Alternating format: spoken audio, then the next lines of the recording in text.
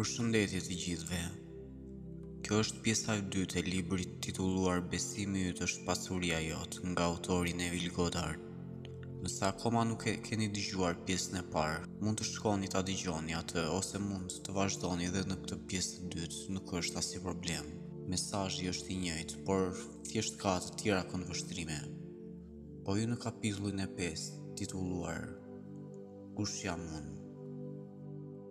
Po kush thoni ju se unë jam? Mat 16-15 Unë jam Zoti, ky është emri im dhe lavdinë time nuk do t'ia jap një tjetri. Unë jam Zoti, perëndia i çdo mishi. Ky unë jam brenda jush, lexuesi, kjo vetëdije, kjo ndërgjegje e qenies është Zoti, Perëndia i çdo mishi. Unë jam, është ai që duhet të vijë, ndaloni se kërkuari një tjetër. Për sa kohë që besoni në një Zot të veçuar nga vetja, do të vazhdoni të transferoni energjinë e shprehjes suaj në konceptimet tuaja. duke harruar se ju jeni konceptuesi. Fuqia e konceptimit dhe gjëja e konceptuar janë një, por fuqia për të konceptuar është më e madhe se konceptimi vetë. Jezusi e zbuloi këtë të vërtetë të lavdishme kur deklaroi, Unë dhe Ati im jemi një, por Ati im është më i madh se unë. Fuqia që e koncepton veten si njeri është më e madhe se konceptimi i saj. Të gjitha konceptimet janë kufizime të konceptuesit. Përpara se Abrahami të ishte, unë jam. Përpara se bota të ishte, unë jam. Ndërgjegja i paraprin të gjitha manifestimeve dhe është mbështetësja mbi të cilën mbështetet i gjithë manifestimi. Të heqësh manifestimet Gjithçka që kërkohet nga ti, konceptuesi, është të largosh vëmendjen nga konceptimi. Në vend të shprehjes larg syrit, larg mendjes, në të vërtetë është larg mendjes, larg syrit. Manifestimi do të mbetet në dukje vetëm për aq kohë sa merr forcën me të cilën konceptuesi Unë jam, e ka pajisur fillimisht për të shpenzuar veten. Kjo vlen për të gjithë krijimin nga elektroni pafundësisht i vogël deri te universi pafundësisht i madh. Qëndroni të qetë dhe dijeni se unë jam Zoti. Po, pikërisht ky unë jam. Vetëdija juaj e qenies është Zoti, i vetmi Zot. Unë jam, është Zoti, Perëndia i çdo mishi, gjithë manifestimi. Kjo prani, vetëdija juaj e pakushtëzuar, nuk kupton as fillimin, as mbarimin. Kufizimet ekzistojnë vetëm në manifestim.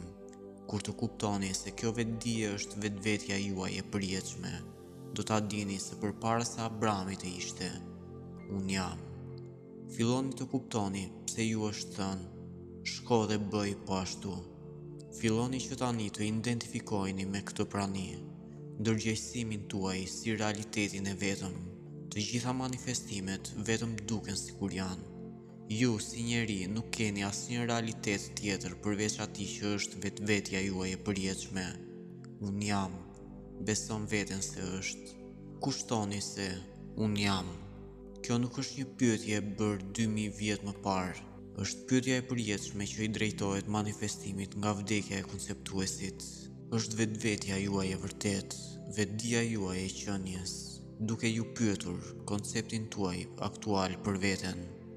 Kush besoni se është vetëdija juaj? Kjo përgjigje mund të përcaktohet vetëm brenda vetes. pavarësisht nga ndikimi i tjetrit. Unë jam, domethënë vetja jote e vërtetë, nuk është e interesuar për mendimin e njeriut. I gjithë interesi i saj qëndron në bindjen tuaj për veten tuaj. Çfarë thoni për unë jam në brendësinë tuaj? A mund të përgjigjeni dhe të thoni, Unë jam Krishti? Përgjigja juaj ose shkalla e mirëkuptimit do të përcaktojë vendin që do të zini në jetë. A thoni apo besoni se jeni burrë i një familjeje, race, kombi të caktuar e tjerë? A e besoni sinqerisht këtë për veten tuaj? Atëherë jeta, vetja juaj e vërtetë, do të bëjë që këto koncepte të shfaqen në botën tuaj dhe ju do të jetoni me to sikur të jenë reale. Unë jam dera. Unë jam rruga. Unë jam ringjallja dhe jeta. Asnjë njeri ose shfaqje nuk vjen te ati, përveçse ndërmjet meje. Unë jam, vetëdija juaj kjo, është e vetmja derë përmes së cilës çdo gjë mund të kalojë në botën tuaj. Ndaloni së kërkuari për shënja. Shënjat pasojnë, ato nuk paraprinë. Filloni të riktheni thënien, të shohësh është të besosh, në, të besosh është të shohësh. Filloni tani të besoni, jo me besimin e lëkundur të bazuar në prova të jashtme mashtruese, por me një besim të patrembur të bazuar në ligjin e pandryshueshëm se ju mund të jeni ai që dëshironi të jeni. Do të zbuloni se nuk jeni viktimë e fatit, por një viktimë e besimit tuaj. Vetëm përmes një dere, ajo për të cilën kërkoni mund të kalojë në botën e manifestimit. Unë jam dera. Vetëdija juaj është dera, kështu që ju duhet të bëheni të vetëdijshëm për të qenë dhe të keni atë që dëshironi të jeni dhe të keni. Çdo përpjekje për të realizuar dëshirat tuaja në mënyra të tjera përveç përmes derës të ndërgjegjes ju bën një hajdut dhe një grabitës për veten tuaj. Çdo shprehje që nuk ndihet është e panatyrshme. Para se të shfaqet ndonjë gjë, Zoti, unë jam, e ndien veten si gjënë e dëshiruar, dhe pastaj shfaqet gjëja e ndjerë.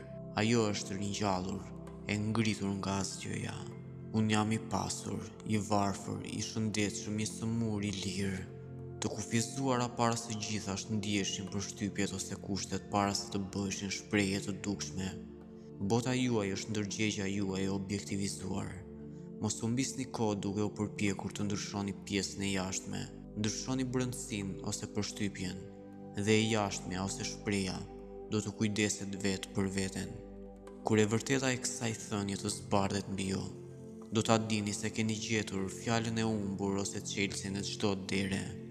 Unë jam, vetëdija juaj, kjo. Është fjala magjike e humbur e cila u bë mish në ngjashmëri me atë që ti je i vetëdijshëm për të qenë. Unë jam, ajo. Tani për tani, po të lë në hije, ty, lexuesin, tempullin tim të gjallë, me praninë tim, duke të kërkuar një shprehje të re. Dëshirat tuaja janë fjalët e mia të thëna. Fjalët e mia janë frymë dhe ato janë të vërteta dhe nuk mund të kthehen bosh tek unë, por do të përmbushen atje ku ato janë dërguar. Nuk janë diçka për t'u përpunuar. Ato janë veshje që unë, vetja juaj pa fytyrë, pa formë, i vesh. Ja, unë, i veshur me dëshirën tënde, qëndroj te dera, ndërgjegjja jote kjo, dhe trokas. Nëse dëgjoni zërin tim dhe më hapni, Më njihni, domethënë, si shpëtimtarin tuaj. Unë do të hyj tek ju dhe do të darkoj me ju dhe ju me mua. Se si do të përmbushen fjalët e mia, dëshirat e tuaja nuk është shqetësimi juaj. Fjalët e mia kanë një mënyrë që ju nuk e dini. Mënyrat e tyre janë larg të të gjeturit. Gjithçka që kërkohet nga ju është të besoni. Besoni në dëshirat tuaja për të qenë rrobat që vesh shpëtimtari juaj. Besimi juaj se ju jeni tani ai që dëshironi të jeni, është provë e pranimit tuaj të dhuratave të jetës.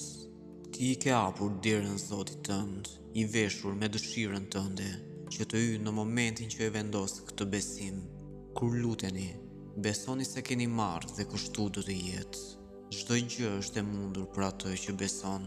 Bëjeni të pamundur të mundur përmes besimit tuaj, dhe ajo që shihet e pamundur për të tjerët do të mëshirohet në botën tuaj. Të gjithë njerëzit kanë pasur prova të fuqisë së besimit. Besimi që lëviz malet është besimi në vetvete. Asnjë njeri nuk ka besim në Zot nëse nuk ka konfidencë në vetvete. Besimi juaj në Zot matet në konfidencën tuaj në veten tuaj. Unë dhe ati im jemi një. Njeriu dhe Perëndia i tij janë një. Vetëdija dhe shfaqja janë një. Dhe Perëndia tha, Le të jetë një kupë qiellore në mes të ujërave. Në mes të të gjitha dyshimeve dhe ndryshimit të opinioneve të të tjerave, le të ketë një bindje, një vendosmëri besimi dhe do të shihni tokën e thatë. Besimi juaj do të shfaqet. Shpërblimi i takon atij që qëndron deri në fund. Një bindje nuk është një bindje nëse mund të lëkundet. Dëshira juaj do të jetë si retë pa shi nëse nuk besoni. Vetëdija juaj e pakushtëzuar ose unë jam është virgjëresha Mari e cila nuk njihte një burrë dhe megjithatë E pa ndihmuar nga njeriu, ngjiz dhe lind një djalë. Maria, vetëdija e pakushtëzuar, dëshiroi dhe më pas u bë e vetëdijshme për të qenë gjendja e pakushtëzuar që ajo dëshironte të shprehte, dhe në një mënyrë të panjohur për të tjerët, u bë ajo. Shkoni dhe po ashtu, merrni vetëdijen për atë që dëshironi të jeni dhe ju gjithashtu do të lindni shpëtimtarin tuaj. Kur bëhet njoftimi, Kur nxitja ose dëshira është mbi ju, besoni se është fjala e thënë e Perëndisë që kërkon mishërim nëpërmjet jush. Shko, mos i trego askujt për këtë gjë të shenjtë që ke ngjizur. Mbyllni sekretin tuaj në brendësinë tuaj dhe madhëroni Zotin. Lartësoni ose besoni dëshirën tuaj për të qenë shpëtimtari juaj që vjen të jetë me ju. Kur ky besim është vendosur aq fort sa të ndjeheni të sigurt për rezultatet, dëshira juaj do të mëshirohet. Si do të bëhet, askush nuk e di. Unë, dëshira juaj, kam rrugë që ju nuk i dini. Mënyrat e mia janë larg së zbuluari. Dëshira juaj mund të krahasohet me një farë dhe farat përmbajnë brenda vetes fuqinë dhe planin e vetëshprehjes. Vetëdija juaj është toka. Këto fara mbillen me sukses vetëm nëse, pasi të keni pohuar se jeni dhe keni atë që dëshironi, prisni me besim rezultate pa një mendim të shqetësuar. Nëse ngrihem në vetëdije drejt natyrshmërisë së dëshirës sime, unë automatikisht do ta tërheq manifestimin drejt meje. Vetëdija është dera përmes së cilës jeta zbulohet. Vetëdija është gjithmonë duke objektivizuar veten. Të jesh i vetëdijshëm i të qenit ose për të zotëruar diçka, do të thotë të jesh ose të kesh atë që je i vetëdijshëm për të qenë ose zotëruar. Prandaj, ngrihuni në vetëdijen e dëshirës suaj dhe do ta shihni atë automatikisht të përfytyrohet vetë. Për ta bërë këtë, ju duhet të mohoni identitetin tuaj aktual.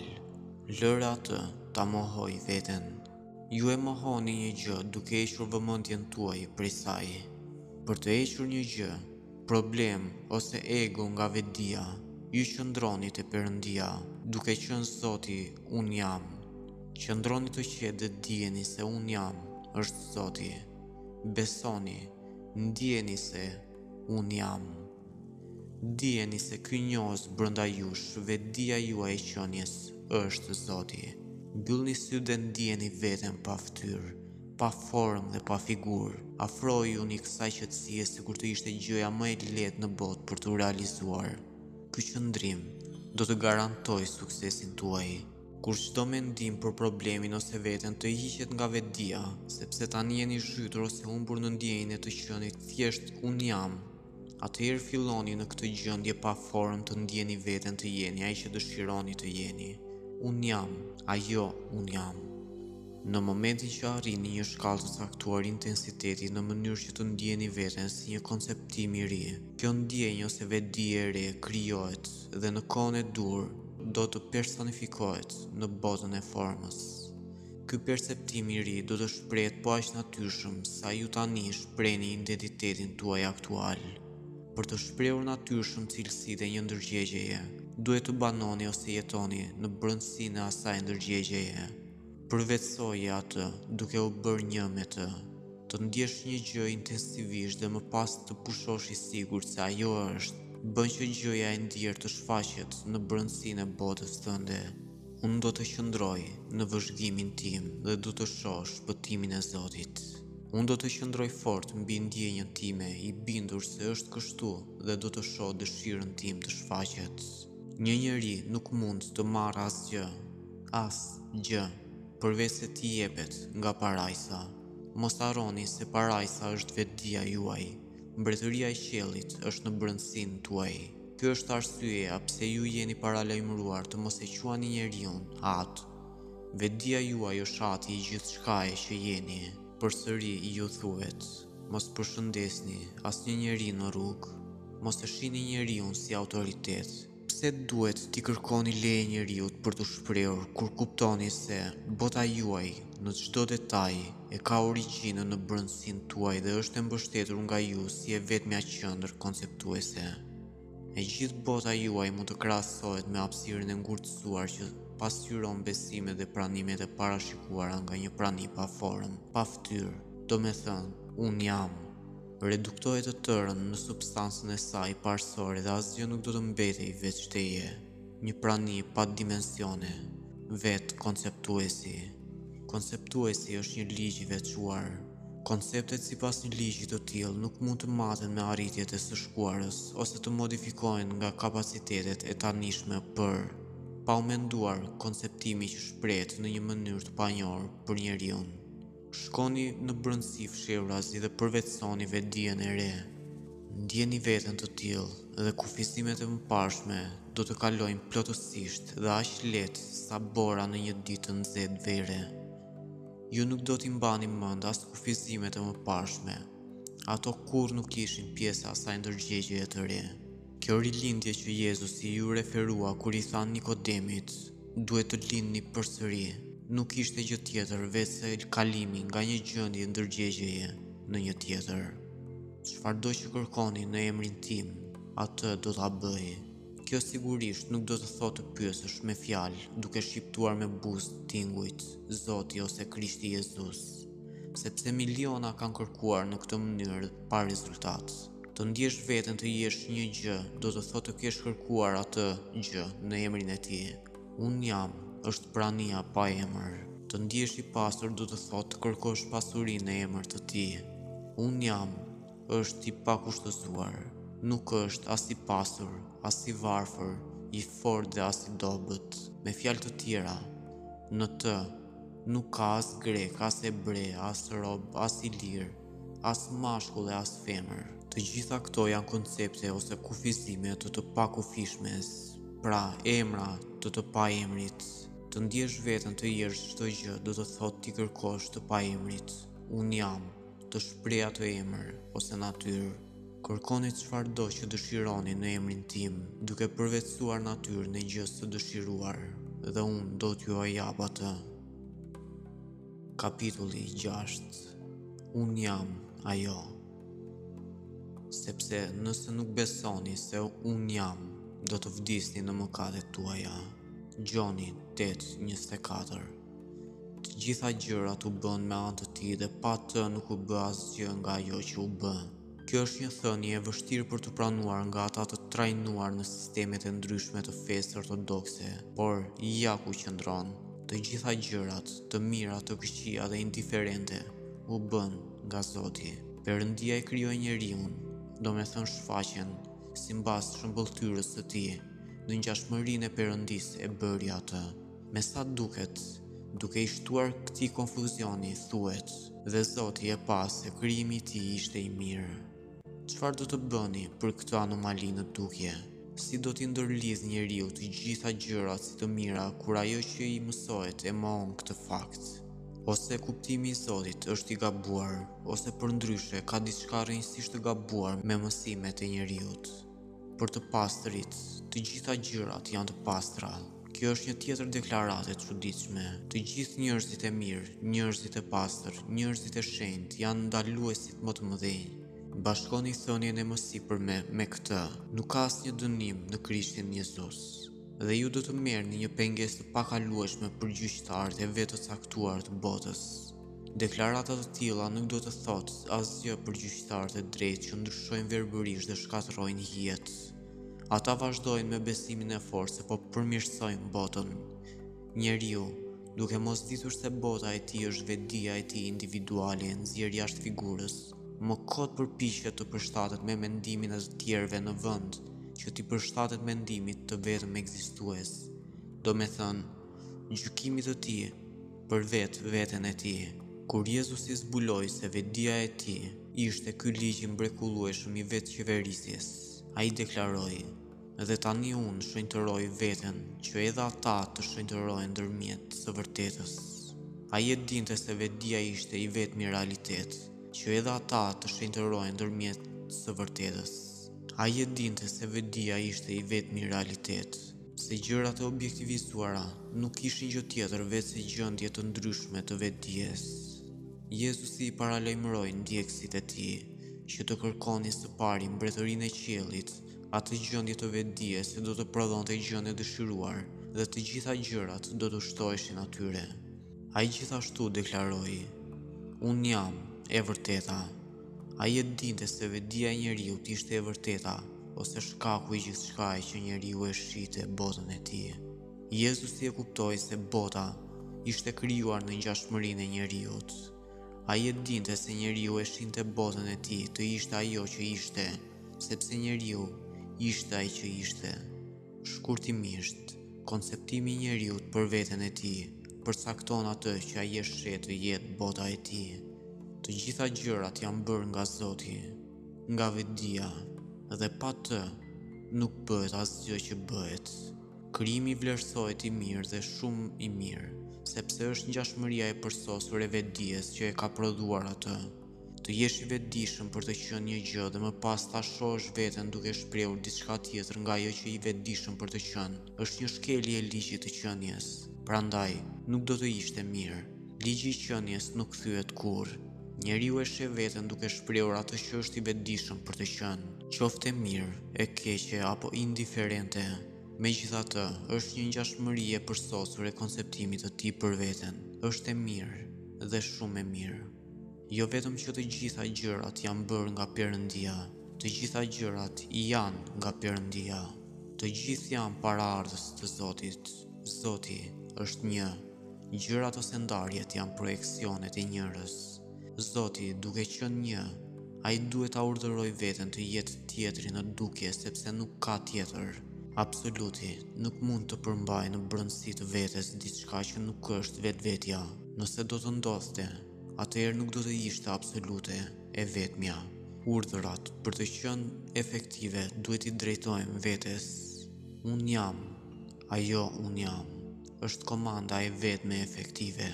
Unë jam, Zoti, dhe përveç meje nuk ka asnjë tjetër. Nuk mund të urdhërosh atë që nuk është. Meqë nuk ka asnjë tjetër, ju duhet ta urdhëroni veten të jeni ai që do të ishit. Më lejoni të sqaroj se çfarë dua të them me komandë efektive. Mos e përsërit si papagall thënien, unë jam, ajo, unë jam. Një përsëritje e tillë e kotë do të ishte marrëzi dhe e pafrytshme. Nuk janë fjalët ato që e bëjnë atë efektive, është vetëdija e të qenit. Gjëja që e bën atë efektive, kur thoni, unë jam, ju po e deklaroni veten të jeni. Fjala që në thënien, unë jam, ajo, unë jam, tregon atë që do të ishit. E dyta, unë jam, në citat është klithma e fitores. E gjithë kjo dramë zhvillohet përbrenda ose pa përdorimin e fjalëve. Ji i qetë dhe dije se je. Kjo qetësi arrihet duke vëzhguar vetë vëzhguesin. Përsëriteni në heshtje, por me ndjenjë. Unë jam. Unë jam. Derisa të keni humbur të gjithë vetëdijen për botën dhe ta njihni veten si qenie. Vetëdija, njohja se jeni, është Zoti i plotfuqishëm. Unë jam. Pasi të arrihet kjo, përkufizojeni veten si ajo që dëshironi të jeni, duke e ndier veten si gjëja e dëshiruar. Unë jam ajo. Ky kuptim se ju jeni gjëja e dëshiruar do të shkaktojë një drithërim në të gjithë qenien tuaj. Kur vendoset bindja dhe vërtet beson se je ajo që ke dashur të jesh, atëherë unë jam i dytë shqiptohet si një klithmë fitoreje. Ky zbulim mistik i Moisiut mund të shihet si tre hapa të dallueshëm. Unë jam, unë jam i lirë, unë me të vërtetë jam. Nuk ka rëndësi se si janë paraqitjet përreth jush, të gjitha gjërat hapin rrugën për ardhjen e Zotit. Unë jam Zoti që vjen në pamjen e asaj për të cilën jam i vetëdijshëm. Të gjithë banorët e tokës nuk mund të qëndrojnë në ardhjen time ose të vënë në dyshim autoritetin tim për të qenë ai që Unë jam i vetëdijshëm se Unë jam. Unë jam drita e botës, duke u kristalizuar në formën e konceptimit tim për veten time. Vetëdija është drita e përjetshme që kristalizohet vetëm përmes mediumit të konceptimit tuaj për veten tuaj. Ndryshoni konceptin tuaj për veten dhe automatikisht do të ndryshoni botën në të cilën jetoni. Mos u përpiqni të ndryshoni njerëzit. Ata janë vetëm lajmëtarë që ju tregojnë se kush ju jeni. Rivlerësoni veten dhe ata do të konfirmojnë ndryshimin. Tani do të kuptoni pse Jezusi e shenjtëroi veten në vend të të tjerëve, pse për të pastrit të gjitha gjërat janë të pastra, pse për Krishtin Jezus, vedija e zgjuar kjo, nuk ka një dënim. Zgjoni nga gjumi i dënimit dhe provoni parimin e jetës. Ndaloni, jo vetëm gjykimin tuaj, ndaj të tjerëve, por edhe dënimin tuaj për veten tuaj, dëgjoni zbulesën e të ndriturve. Unë e di dhe jam i bindur nga Zoti Krisht Jezus se nuk ka asgjë të papastër në vetvete, por për atë që sheh diçka të papastër, për të është i papastër. Dhe përsëri, i lumtur është njeriu që nuk e dënon veten në atë që ai e lejon. Mos e pyesni veten nëse jeni apo jo i denjë apo i padenjë të pohoni se jeni ajo që dëshironi të jeni. Ju do të dënoheni nga bota vetëm për sa kohë që dënoni veten tuaj. Nuk keni nevojë të punoni asgjë, sepse punimet kanë mbaruar. Parimi me të cilin bëhen të gjitha gjërat dhe pa të cilin nuk bëhet asgjë që është bërë është i përjetshëm. Ju jeni ky parim, vedija juaj e qenies është ky ligj i përjetshëm. Ju kurrë nuk keni shprehur diçka që nuk keni qenë të vetëdijshëm për të qenë dhe nuk do ta bëni kurrë këtë. Supozoni vetëdijen për atë që dëshironi të shprehni. Kërkojeni atë derisa të bëhet një manifestim natyror. Ndjeni atë dhe jetoni brenda asaj ndjenje derisa ta bëni atë natyrën tuaj. Këtu është një formulë e thjeshtë. Merrni vëmendjen tuaj nga konceptimi juaj aktual për veten dhe vendoseni atë në idealin tuaj, idealin që keni menduar deri më tani përtej mundësive tuaja. Pohoni veten se jeni ideali juaj, jo si diçka që do të jeni me kalimin e kohës, por si ajo që jeni tashmë në të tashmen e menjëhershme këtu dhe tani. Bëjeni këtë dhe bota juaj e tanishme e kufizimeve do të shpërbëhet ndërsa pohimi juaj i ri ngrihet si feniks nga hiri i tij. Mos keni frikë dhe mos u trëmbni nga kjo turmë e madhe, sepse beteja nuk është e juaja, por e Perëndisë. Ju nuk luftoni kundër problemit tuaj. Problemi juaj do të jetojë për aq kohë sa ju jeni të vetëdijshëm për të. Largoni vëmendjen tuaj nga problemi juaj dhe nga një mori arsyesh pse nuk mund ta arrini atë ideal tuajin. Përqendroni vëmendjen tuaj tërësisht në gjënë e dëshiruar. Lëri të gjitha dhe më ndiqni. Përballë pengesave në dukje malore, kërkoni lirinë tuaj. Vedija e lirisë është ati i lirisë. Ajo ka një mënyrë për t'u shprehur që askush nuk e di. Ju nuk do të keni nevojë të luftoni në këtë betejë. Ndaluni, qëndroni në vend dhe shikoni shpëtimin e Zotit me ju. Unë jam Zoti, unë jam vetëdia juaj kjo është Zoti. Vetëdia se puna është bërë, se puna ka përfunduar, është Zoti çdo situate. Dëgjoni me kujdes premtimin. Nuk do të keni nevojë të luftoni në këtë betejë. Ndaluni, qëndroni në vend dhe shikoni shpëtimin e Zotit me ju. Me ju, ajo vetëdije e veçantë me të cilën jeni identifikuar është Zoti i marrëveshjes. Ai do të vendosë pa ndihmë gjënë për të cilën është rënë dakord në tokë. A mundesh ti, përballë një morie arsyesh, pse një gjë nuk mund të bëhet, në heshtje të hysh në një marrëveshje me Zotin se ajo është bërë tashmë. A mund të bëheni të vetëdijshëm se beteja është fituar, tani që keni gjetur Zotin si vetëdijen tuaj të qenies? A mundesh ti, sado i afërt dhe kërcënues të duket armiku, të vazhdosh në besimin tënd, të qëndrosh në vend, duke e ditur se fitorja është e jotja? Nëse mundeni, do të shihni shpëtimin e Zotit. Mos harroni se shpërblimi është për atë që duron. Qëndroni. Qëndrimi i palëvizshëm është bindja e thellë se gjithçka është mirë. Ajo është bërë. Pavarësisht se çfarë dëgjohet apo shihet, ju mbeteni të palëkundur, të vetëdijshëm për të qenë fitimtarë në fund. Të gjitha gjërat bëhen me marrëveshje të tilla, dhe pa një marrëveshje të tillë, Nuk bëhet asgjë që bëhet. Unë jam, ajo unë jam. Në zbulesat është shënuar se një qiell i ri dhe një tokë e re do të shfaqen. Gjonit, të cilit iu shfaq ky vizion, iu tha të shkruante, ajo është bërë. Qielli është vetëdia juaj dhe toka, gjendja e saj e ngurtësuar. Prandaj, pranoni siç Gjoni bëri. Ajo është bërë. Gjithçka që kërkohet nga ju, që kërkoni një ndryshim, është të ngriheni në nivelin që dëshironi, pa u ndalur në mënyrën e të shprehurit. Shënoni se ajo bëhet duke ndjerë ndjeshmërinë e të qenit ajo. Këtu është një analogji që mund t'ju ndihmojë të shihni këtë mister. Supozoni se keni hyrë në një teatër filmash, pikërisht kur fotografisë artistike i erdhi fundi. Gjithçka që patë në foto ishte vetëm fundi i lumtur. Për shkak se doje të shihje të gjithë historinë, prisnit që ajo të shpalosej përsëri. Me sekuencën kundër kulmit, heroi shfaqet si i akuzuar, i rrethuar nga prova të rreme, dhe gjithçka shkon për të nxjerrë lot nga publiku. Por ju, i sigurt në njohjen përfundimtare qëndroni të qetë me mirëkuptimin se, pavarësisht drejtimit në dukje të figurës, fundi tashmë është përcaktuar. Në të njëjtën mënyrë, shkoni deri në fund të asaj që kërkoni. Dëshmoni fundin e lumtur të saj, duke ndier me vetëdije se ju shprehni dhe zotëroni atë që dëshironi të shprehni dhe zotëroni.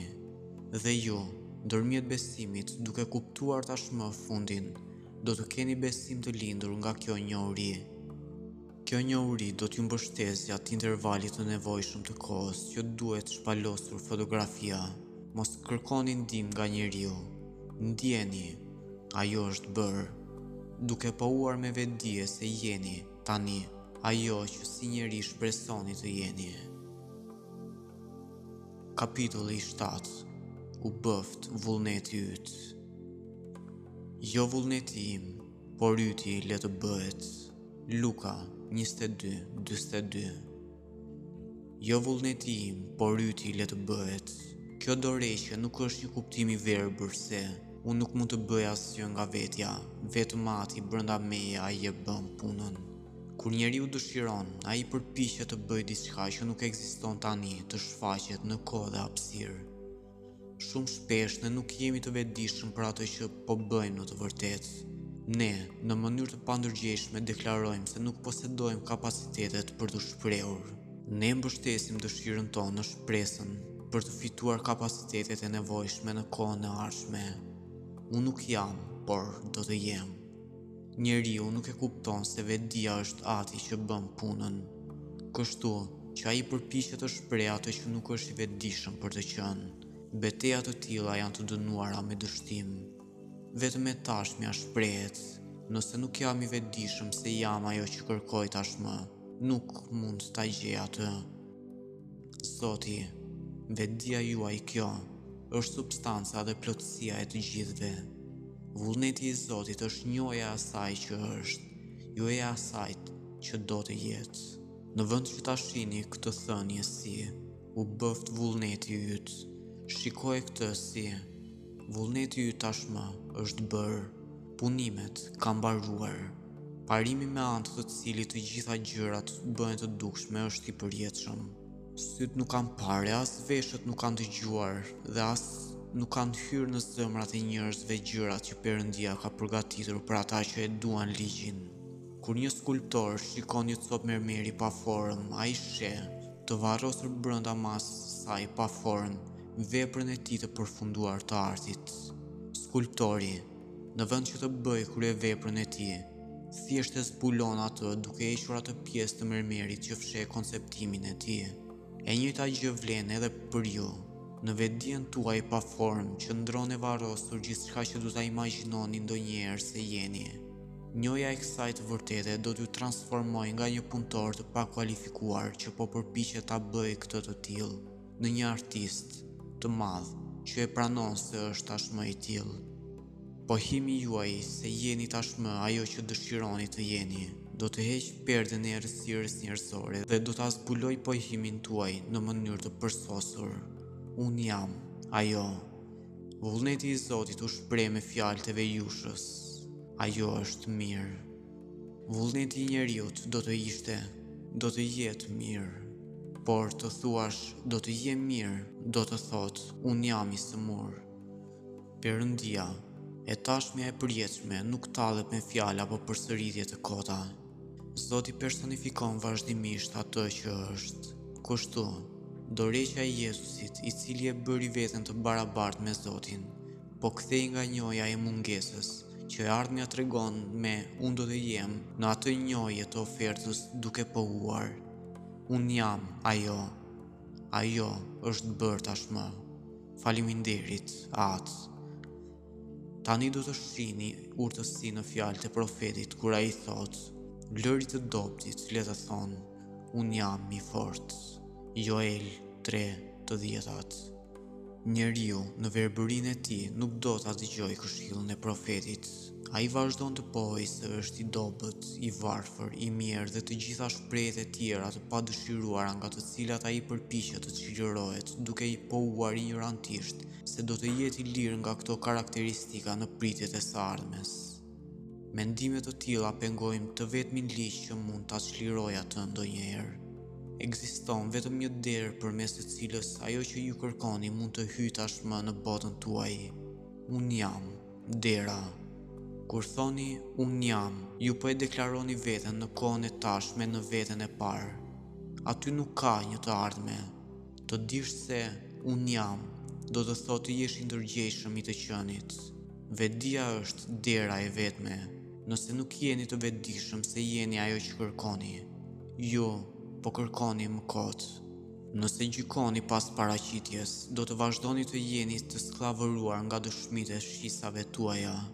Për të thyer këtë magji hipnotike të shqisave që ju thuhet, hyni brenda dhe mbyllni derën.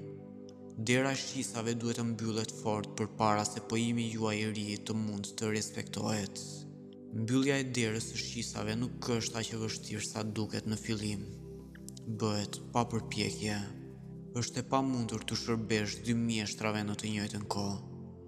Njeriu mjeshtër i shërben asaj që është ajo që ai është i vetëdijshëm për të qenë.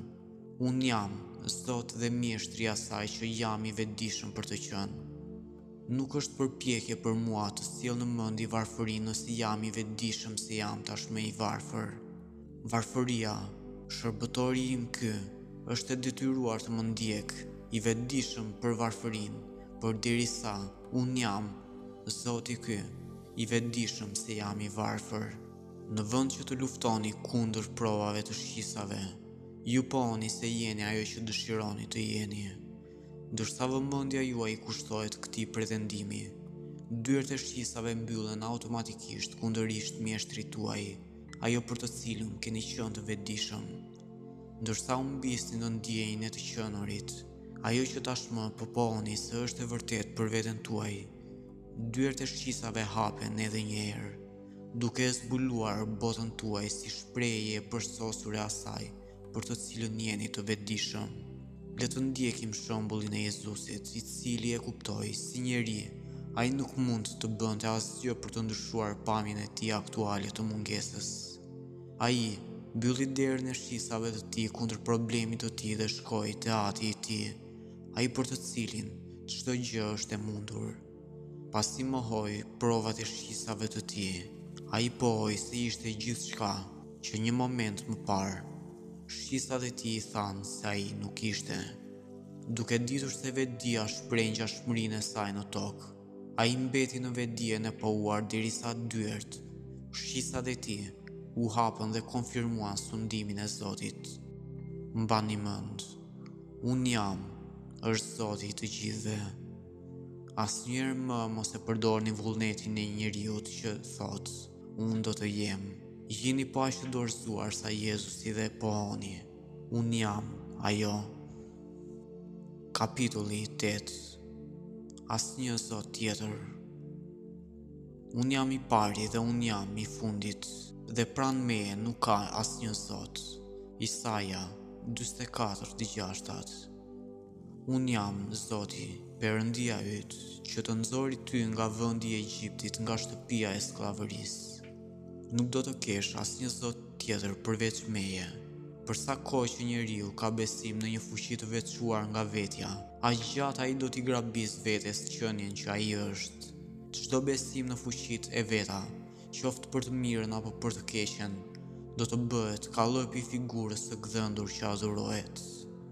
Besimet në fuqinë e ilaçeve për të shëruar, dietat për të forcuar, paratë për të siguruar janë vlerat ose këmbyesit e parave që duhet të hidhen nga fuqia që ai mund ta shfaqë atë cilësi pa dështuar. Ky mirëkuptim hedh jashtë tempullin e këmbyesve të parave. Ju jeni tempulli i Perëndisë së gjallë, një tempull i bërë pa duar. Është shkruar se. Shtëpia im do të quhet shtëpi e lutjeve të të gjitha kombeve, por ju e keni bërë këtë një shpellë hajdutësh. Hajdutët që ju grabitin janë bindjet tuaja të rreme. Është besimi juaj në një gjë dhe jo vetë gjëja që ju ndihmon. Ekziston vetëm një fuqi. Unë jam ajo. Për shkak të besimit tuaj në gjëra të jashtme, ju mendoni fuqinë në to duke transferuar energjinë që jeni tek gjëja e jashtme. Kuptoni se ju vetë jeni fuqia që gabimisht i keni dhënë kushteve tuaja të jashtme. Bibla e krahason njeriun me mendime me devenë që nuk mund të kalonte nga vrima e gjilpërës. Vrima e gjilpërës për të cilën përmendet ishte një portë e vogël në muret e Jeruzalemit. e cila ishte aq e ngushtë sa një deve nuk mund të kalonte nëpër të derisa të çlirohej nga tufa e saj. Njeriu i pasur, që është ai i ngarkuar me koncepte të rreme njerëzore, nuk mund të hyjë në mbretërinë e qiellit derisa të çlirohet nga barra e tij, më shumë se sa mund të kalonte deveja nga kjo portë e vogël. Njeriu ndihet aq i sigurt në ligjet, opinionet dhe besimet e tij të krijuara nga vetë njeriu, saqë i investon ato me një autoritet që nuk e posedojnë. I kënaqur që njohuria e tij është gjithçka, ai mbetet i pavetëdijshëm se të gjitha paraqitjet e jashtme janë veçse gjendje shpirtërore të jashtme. Kur ai e kupton se vetëdija e tij e një cilësie, e nxjerr jashtë saj atë cilësi, pa ndihmën e ndonjë ose më shumë vlerave të tjera dhe vendos vlerën e vetme të vërtetë, vetëdijen e tij. Zoti është në tempullin e tij të shenjtë. Ndërgjegja banon brenda asaj që është e vetëdijshme të qenit. Jam njeriu, është Zoti dhe tempulli i tij. Duke ditur se vetëdija e objektivizon vetveten, njeriu duhet t'i falë të gjithë njerëzit që janë ata që janë. Ai duhet të kuptojë se të gjithë janë duke shprehur, pa ndihmën e tjetrit, atë që ata janë të vetëdijshëm për të qenë. Pjetri, njeriu i ndriçuar ose i disiplinuar, e dinte se një ndryshim i ndërgjegjës do të shkaktonte një ndryshim të shprehjes. Në vend që të simpatizojë lypësit e jetës në portën e tempullit, Ai deklaroi, Unë nuk kam për ty argjend dhe ar, por të jap atë që kam, vetëdijen e lirisë. Nxitni dhuratën brenda jush, ndaloni së lypuri dhe pohoni se jeni ajo që vendosni të jeni. Bëje këtë dhe ti do të hidhesh nga bota jote e gjymtuar në botën e lirisë, duke i kënduar lavdime Zotit, Unë jam. Shumë më i madh është ai që është në ju se sa ai që është në botë. Kjo është britma e kujtdo që e gjen vetëdijen e tij për të qenë zot. Njohja juaj e këtij fakti do të pastrojë automatikisht tempullin, ndërgjegjen tuaj, nga hajdutët dhe vjedhësit, duke ju rikthyer atë sundim mbi gjërat që keni humbur në momentin që keni harruar urdhrin, Nuk do të kesh asnjë zot tjetër përveç meje. Kapitulli 9 Guri i themelit. Le të ketë kujdes çdo njeri se si ndërton mbi të, sepse askush nuk mund të hedhë themele të tjera që janë hedhur, që është Jezu Krishti. Tani, nëse njeriu ndërton mbi këtë themel ar, argjend, gurë të çmuar, dru, sanë, kashtë, vepra e çdo njeriu do të shfaqet, sepse dita do ta shpallë atë. Korintasit, tre të dhjetat. Themeli i të gjithë shprehjes është vetëdija. Të përpiqet si të dojë njeriu, ai nuk mund të gjejë një shkak manifestimi tjetër përveç vetëdijes së tij të qenies. Njeriu mendon se e ka gjetur shkakun e sëmundjes te mikrobet, shkakun e luftës në ideologjitë politike konfliktuale dhe lakminë. Të gjitha zbulimet e tilla të njeriut, të kataloguara si thelbi i urtësisë, janë marrëzi në sytë e Perëndisë. Ekziston vetëm një fuqi dhe kjo fuqi është Zoti, vetëdija juaj. Ajo vret, bën të gjallë, ajo plagos, shëron, i bën të gjitha gjërat, të mira, të këqija apo indiferente. Njeriu lëviz në një botë që nuk është asgjë më shumë apo më pak se vetëdija e tij e objektivizuar. Duke mos e ditur këtë, ai lufton kundër reflektimeve të tij, ndërkohë që mban gjallë dritën dhe imazhet që i projektojnë reflektimet. Unë jam drita e botës. Unë jam. Vetëdija është drita. Ajo që unë jam i vetëdijshëm për të qenë. Kjo, konceptimi im për veten tim, të tilla si unë jam i pasur, unë jam i shëndetshëm, unë jam i lirë, janë thjesht imazhet. Bota është pasqyra që smadhon gjithçka që unë jam i vetëdijshëm për të qenë. Mos u përpiqni të ndryshoni botën, pasi ajo është vetëm pasqyra. Përpjekja e njeriut për të ndryshuar botën me forcë është po aq e pafrutshme sa thyerja e një pasqyre me shpresë për të ndryshuar fytyrën e tij. Lërini pasqyrën dhe ndryshoni fytyrën tuaj. Lërini botën të qetë dhe ndryshoni konceptet tuaja për veten. Reflektimi atëherë do të jetë i kënaqshëm. Liria ose burgimi, kënaqësia ose zhgënjimi mund të diferencohen vetëm nga vetëdija e qenies. Pavarësisht nga problemi juaj, kohëzgjatja ose madhësia e saj, vëmendja e kujdesshme ndaj këtyre udhëzimeve do të eliminojë në një kohë jashtëzakonisht të shkurtër, edhe kujtesën e problemit. Bëjni vetes këtë pyetje. Si do të ndihesha nëse do të isha i lirë? Pikërisht në momentin që ju e bëni këtë pyetje sinqerisht, përgjigja vjen. Asnjë njeri nuk mund t'i tregojë tjetrit kënaqësinë e përmbushjes së dëshirës së tij. Secili brenda vetes i mbetet të përjetojë ndjenjën dhe gëzimin e këtij ndryshimi automatik të ndërgjegjes. Ndjenja ose emocioni që i vjen dikujt si përgjigje ndaj vetë pyetjes së tij, është gjendja e vetëdijes së atit ose guri i themelit mbi të cilit ndërtohet ndryshimi i ndërgjegjshëm. Se si do të mishërojë veten kjo ndjenjë askush nuk e di, por do ta bëjë. Ati, vetëdija, ka mënyra që askush nuk i njeh, është ligji i pandryshueshëm. Të gjitha gjërat shprehin natyrën e tyre. Ndërsa vishni një ndjenjë, ajo bëhet natyra juaj. Mund të zgjasë një moment ose një vit, kjo varet tërësisht nga shkalla e bindjes. Ndërsa dyshimet zhduken dhe ju mund të ndjeni, Unë jam ky, ju filloni të zhvilloni frutin ose natyrën e gjësë që po ndjeni se jeni. Kur një person blen një kapele të re ose një palë këpucë, Ai mendon se të gjithë e dinë se ato janë të reja. Ai ndihet i panatyrshëm me veshjen e tyre të sapo fituar derisa të bëhet pjesë e tij. E njëjta gjë vlen edhe për veshjen e gjendjeve të reja të vetëdijes. Kur i bëni vetes pyetjen, si do të ndihesha nëse dëshira im do të realizohej në këtë moment? Përgjigja automatike, derisa të kushtëzohet siç duhet nga koha dhe përdorimi, është në të vërtetë shqetësuese. Periudha e përshtatjes për të realizuar këtë potencial të vetëdijes është e krahasueshme me risinë e veshjes të veshjeve. Duke mos ditur se vetëdija po e shfaq veten në kushtet rreth jush, si vetë gruaja e Lotit, ju vazhdimisht shikoni prapa për problemin tuaj dhe përsëri hipnotizoheni nga natyraliteti i saj në dukje. Kushtojini vëmendje fjalëve të Jezusit, shpëtimi i ky. Lini gjithçka dhe më ndiqni. Lërini të vdekurit të varrosin të vdekurit. Problemi juaj mund t'ju hipnotizojë aq shumë nga realiteti dhe natyraliteti i tij në dukje, saqë ta keni të vështirë të mbani ndjenjën ose vetëdijen e re të shpëtimtarit tuaj. Ju duhet ta merrni këtë veshje nëse do të kishit rezultate. Guri, Vetëdija kjo, që ndërtuesit e refuzuan, që nuk donin ta mbanin. është guri kryesor i themelit dhe themelet e tjera që askush nuk mund të vendosë.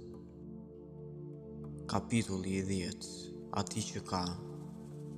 Kini kujdes pra se si dëgjoni, sepse kujdo që ka, atij do t'i jepet, dhe atij që nuk ka, do t'i merret edhe ajo që duket se ka. Luka, tetë, tetëmbëdhjetë. Bibla, e cila është libri më i madh psikologjik i shkruajtur ndonjëherë, e paralajmëron njeriun të jetë i vetëdijshëm për atë që dëgjon. Pastaj pason këtë lajmërim me thënien, Atij që ka do t'i jepet dhe atij që nuk ka do t'i merret. Edhe pse shumë e shohin këtë deklaratë si një nga thëniet më mizore dhe më të padrejta që i atribuohen Jezusit, Ai mbetet ende një ligj i drejtë dhe i mëshirshëm i bazuar në parimin e pandryshueshëm të shprehjes së jetës. Injoranca e njeriut për funksionimin e ligjit nuk e shfajëson dhe as nuk e shpëton atë nga rezultatet. Ligji është jopersonal dhe për këtë arsye nuk respekton persona. Njeriu paralajmërohet të jetë përzgjedhës në atë që dëgjon dhe atë që ai e pranon si të vërtetë. Çdo gjë që njeriu e pranon si të vërtetë, lë mbresa në ndërgjegjen e tij dhe me kalimin e kohës duhet të përkufizohet si provë ose jo. Dëgjimi perceptiv është mjeti i përsosur përmes së cilit njeriu regjistron përshtypjet. Një njeri duhet të disiplinojë veten për të dëgjuar vetëm atë që dëshiron të dëgjojë, pavarësisht nga thashathemet apo dëshmitë e shqisave të tij për të kundërtën. Ndërsa e kushtëzon dëgjimin e tij perceptues, ai do të reagojë vetëm ndaj atyre përshtypjeve për të cilat ka vendosur. Mbi këtë parim të pandryshueshëm, të gjitha gjërat mbështeten. Është e pamundur që ndonjë gjë të jetë ndryshe nga ajo që është e vetëdijshme për të qenë. Atij që ka, ai që e di se është, do t'i jepet. I mirë, i keq apo indiferent, kjo nuk ka rëndësi. Njeriu merr njëqindfishuar atë që ai është i vetëdijshëm për të qenë. Në përputhje me këtë ligj të pandryshueshëm, atij që nuk ka, do t'i merret dhe do t'i shtohet atij që ka. Të pasurit bëhen më të pasur dhe të varfrit më të varfër. Ju mund të lartësoni vetëm atë që jeni të vetëdijshëm për të qenë. Të gjitha gjërat gravitojnë në atë vetëdije me të cilën janë në harmoni. Po kështu, Të gjitha gjërat shkëputen nga ajo vetëdije me të cilën nuk janë në harmoni. Ndani pasurinë e botës në mënyrë të barabartë mes të gjithë njerëzve dhe në një kohë të shkurtër kjo ndarje e barabartë do të jetë si fillimisht e shpërpjesëtuar. Pasuria do ta gjejë rrugën e saj përsëri në xhepat e atyre të cilëve u është marrë. Në vend që të bashkoheni me korin e atyre që nuk kanë, të cilët këmbëngulin të shkatërrojnë ata që kanë. Pranoni këtë ligj të pandryshueshëm të shprehjes. Përcaktoni veten me vetëdije si atë që dëshironi. Pasi të përcaktohet, pohimi juaj i vetëdijshëm të vendoset. Vazhdoni në këtë besim derisa të merret shpërblimi. Aq me siguri, sa dita pason natën, çdo atribut i pohuar me vetëdije do të shfaqet. Kështu, ajo që në botën ortodokse të fjetur është një ligj mizor dhe i padrejtë për të ndriturin, bëhet një nga thëniet më të mëshirshme dhe më të drejta të së vërtetës. Unë kam ardhur, jo për të shkatërruar, por për të përmbushur. Asgjë në fakt nuk është shkatërruar. Çdo shkatërrim në dukje është rezultat i një ndryshimi në vetëdije. Vetëdija gjithmonë e mbush plotësisht gjendjen në të cilën ajo banon. Gjendja nga e cila është shkëputur vetëdija, për ata që nuk e njohin këtë ligj duket shkatërruese. Megjithatë, kjo është vetëm përgatitore për një gjendje të re të vetëdijes. Pohoni veten se jeni ajo që dëshironi të plotësohet. Asgjë nuk është shkatërruar, gjithçka është përmbushur.